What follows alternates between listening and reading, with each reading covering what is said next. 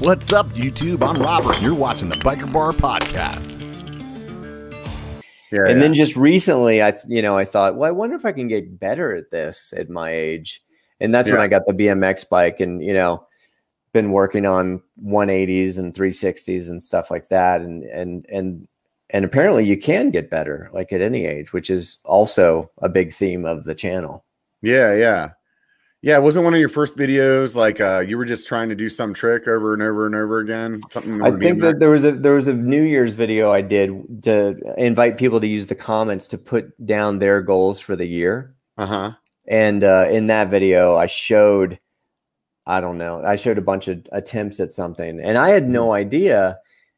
You know, when you're young, it just doesn't seem like it takes as many attempts, or you don't right. notice because you're you know what else are you going to do you get off yeah. school and you just go spin the yeah. bike a bunch right but yeah yeah but but as you're older maybe you also just feel them more i yeah. saw i saw danny MacAskill post that it took him like 200 tries to jump onto this this slack line in that gym video and then it oh, yeah, yeah. Four, 400 times to do that that palma thing that he did and uh and that was just an epiphany for me i thought well okay I was actually in Hawaii and and and I just had the BMX in the carport. I'm like, I'm going to learn 180s. I'm going to learn to yeah. 180 my my BMX. I'm going to give it 400 tries, and if 400 yeah. tries, I will reevaluate. Like if I haven't gotten yeah. there, you know, and then I don't know exactly what try because you you lose count, but probably you know 387.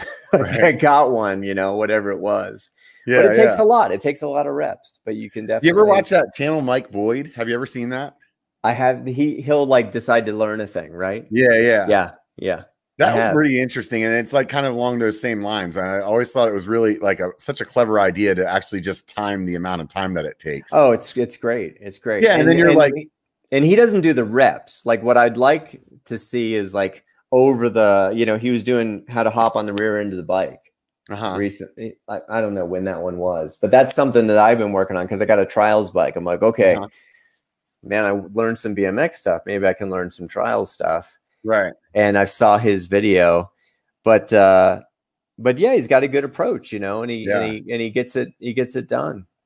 Yeah, I remember seeing. I, I want to learn how to manual. I need to. I need to do it, and I, I'm like not actually, and I'm not taking the time to actually try.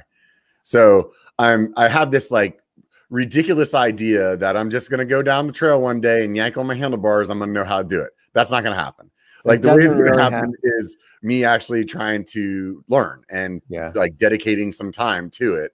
And um, I think th- that's one of those things about his videos that I like when you look at it or when you're trying something and it seems so hard and then you watch him that's not a, you know, great rider or whatever and he's like I want to learn how to manual and then he's yeah. it took him 20 hours, let's just say, to nail yeah. this, you know, 50 meter manual. And it's like, well, 20 hours doesn't seem that long. If you like that, make sure you check out the full episode. And hey, do me a favor before you take off, hit the like and subscribe.